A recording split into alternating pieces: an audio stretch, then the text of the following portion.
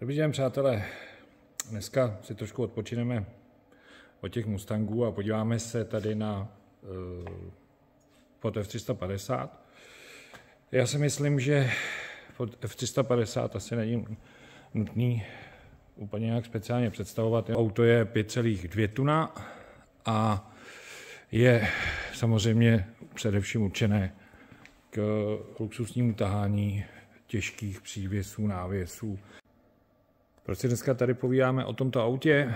No, protože když s tím autem chcete jezdit nebo chcete ho používat i jako na denní ježdění a nejenom na tahání těžkých přívěsů a návěsů, tak to jeho pohodlí není úplně tak, jak byste si představovali.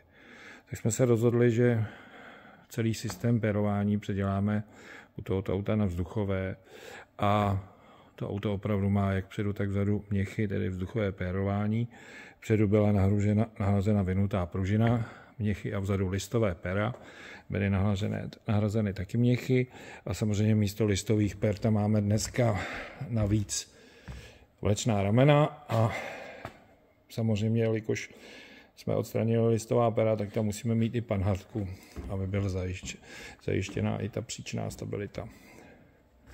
Takže za chvíli malý detaily na videu, jak to vypadá. Takže vpředu máme klasický měch, který je přímo místo listové pružiny a samozřejmě v našem případě velice sofistikovaný systém hlídání výšky vozidla, o kterém se zmíním podrobněji později.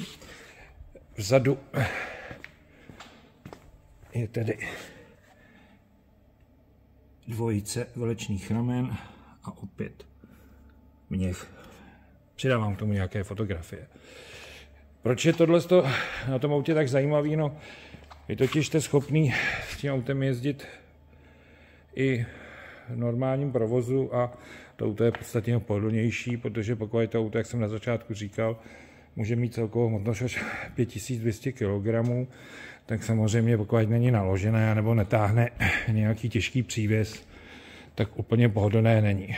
V tomto případě to auto již pohodlné je a ukážeme si nyní něco o tom vlastním systému a tom ovládání. Celý systém jsme umístili eh, z pragmatických důvodů na korbu vozidla a to z toho důvodu, protože jsme chtěli zachovat zároveň i rezervu. To je normálně většinou se ten systém umístuje místo rezervy, ale je lepší mít rezervní kolo. Když se podíváme, jak ten systém asi vypadá, je tady skrytý pod tímto plastovým, no a nyní to vidíme, obsahuje velký vzduchem, obsahuje dva výkonné kompresory.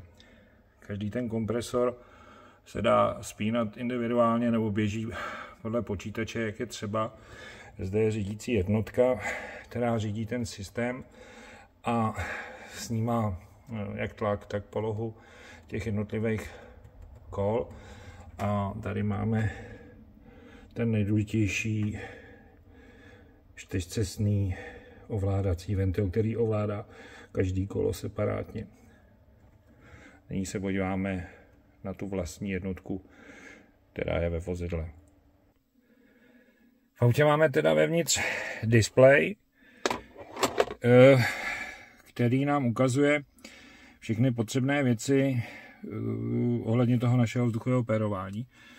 Ty kolečka jsou jednotlivá kola a samozřejmě levé přední, levé přední a tak dále. Ten tlak je ta část, je ta hodnota, to znamená 62 PSI, 63, jak se tady hybu, je v tom levém předním kole.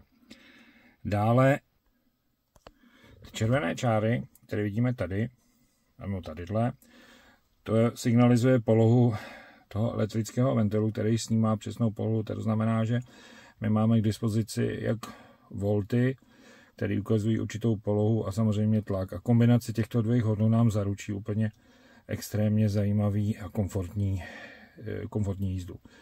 Pokud to teďka odemknu tímto způsobem, mám k dispozici tady 1, 2, 3 polohy.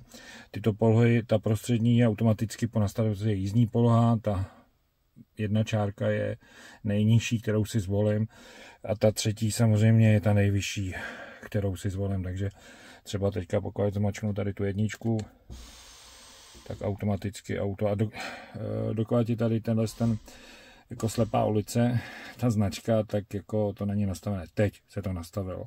Samozřejmě opačným gardu, zase když to dám zpátky, na tu jízdní polohu a samozřejmě teď se mi zaply ty kompresory.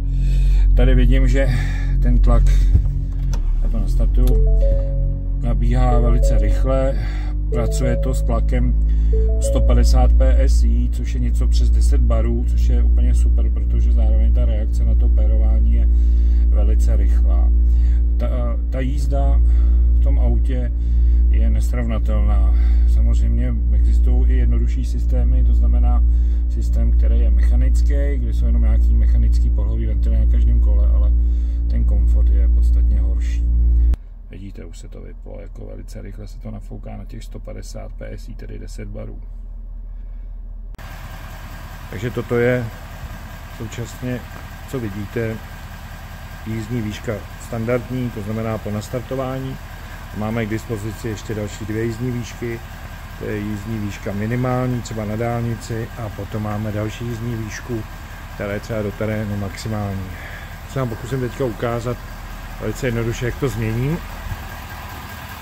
Přijdu k autu, kdybych měl ještě jeden mobil, tak bych měl, měl, mě mohl mít spuštěnou tu aplikaci a udělat to na dálku, ale jelikož jedním mobilem natáčím, ale zároveň nemůžu ovládat ten systém, takže ten systém si odemknu, přidržím tady toto a zmáčknu tady tu trojku. Tady vidíme, jak nám auto vylezlo pravdu nahoru. Teďka je to taková krásná vysoká koza. A pak když zase půjdu, tak to dokážu spustit zpátky na tu jízdní výšku úplně stejným způsobem zase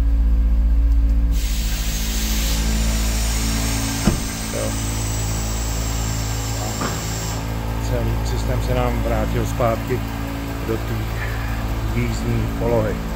Takže to taková malá názorná ukázka jak to funguje, samozřejmě to funguje i za jízdní